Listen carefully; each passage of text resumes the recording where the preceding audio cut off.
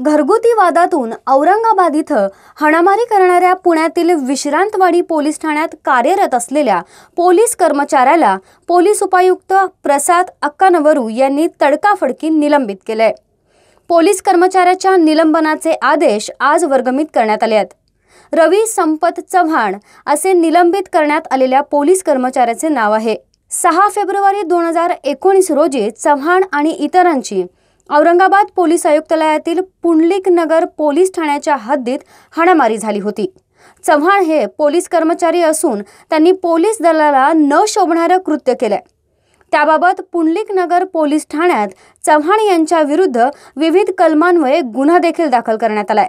त्या प्रकरणाची दखल घेऊन चव्हाण यांची चौकशी चालू करण्यात आली आहे दरम्यान चव्हाण यांनी अशोभनीय कृत्य करून पोलीस दलाची प्रतिमा मलिन केल्यामुळं त्यांना सेवेतून निलंबित करण्यात आलंय.